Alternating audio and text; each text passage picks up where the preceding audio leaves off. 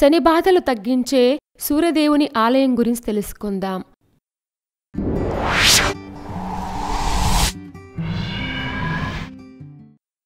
సూర్యనార్ కోవిల్. మన దేశంలో సూర్యుడు ప్రత్యక్ష దైవంగా పూజలందుకునే దేవాలయాలున్నాయి. ఈ సూర్యనార్ కోవిల్లో మాత్రం సూర్యుడు ప్రత్యక్ష దైవంగా కాక ఒక గ్రహంగా సూర్యగ్రహ పరిహారార్థం పూజింపబడటం విశేషం. తమిళనాడులో ఉన్న ఈ ఆలయం చుట్టూ మిగతా గ్రహాలతో కొలువు తీరిన సూర్య ఆలయం కూడా ఇది ఒక్కటే. ఈ ఊరి పేరు కూడా సూర్యనార్ కోవిల్ అని అంటారు.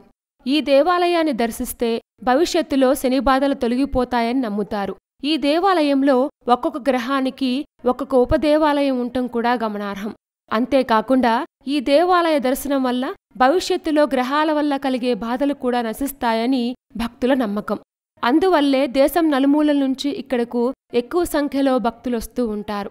ఈ రాతి కట్టడం కులోత్తుంగ చోళుడి కాలంలో కట్టారు. తర్వాత విజయనగర రాజుల కాలంలో ఇంకొన్ని నిర్మాణాలు కూడా జరిగాయి. ఐదు అంతస్తుల రాజగోపురం చుట్టూ గ్రనైట్ రాతి ప్రహరీ గోడ మధ్యలో ఎత్తైన ప్రదేశంలో ఉషా ఛాయా సమేత సూర్యనారాయణమూర్తి చుట్టూ గురుగ్రహం తప్పితే మిగతా గ్రహాలన్నింటికీ ప్రత్యేక ఆలయాలున్నాయి. ఈ గ్రహాలన్నీ సూర్యుడికి అభిముఖంగా ఉంటాయి.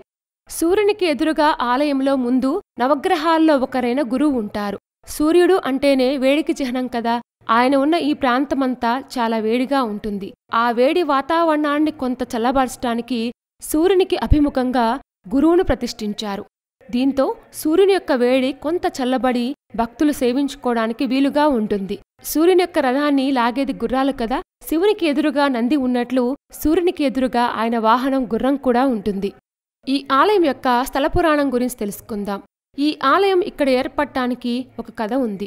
పూర్వం కలవ మహర్షి కుష్ఠురోగంతో చాలా బాధపడ్డాడు.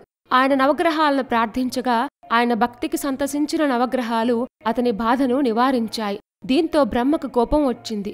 శివుని ఆదేశం ప్రకారం నవగ్రహాలు మానవులకు మంచి చెడ్డలు మాత్రమే ఇవ్వాలని వారికి వరాలిచ్చే శక్తులు నవగ్రహాలకు లేవని ఆయన నవగ్రహాల్ని భూమి మీద వెల్లురుక్కవనం అంటే తెల్లని అడవపూల అరణ్యంలో కుష్ఠురోగంతో బాధపడుతూ నివసించమని శపించారు. ఆ శాపం కారణం చేత నవగ్రహాలు ఇక్కడ ఒకచోట ఉన్నాయి. నవగ్రహాలు తమని ఆ శాపం నుంచి రక్షించవలసిందిగా శివుణ్ణి కోరారు.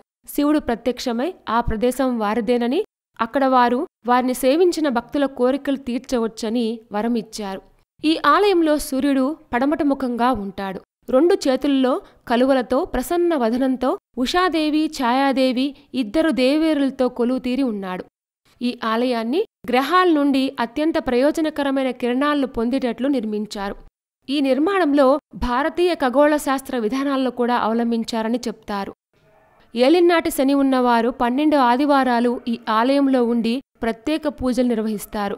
దీన్నే స్థలవాసం అంటారు. రథసప్తమి సమయంలో పది రోజుల పాటు పెద్ద ఎత్తున ఉత్సవాలు జరుగుతాయి. తమిళ నెలల్లో మొదటి రోజున ప్రత్యేక పూజలు జరుగుతాయి. దీన్నే మహాభిషేకం అంటారు.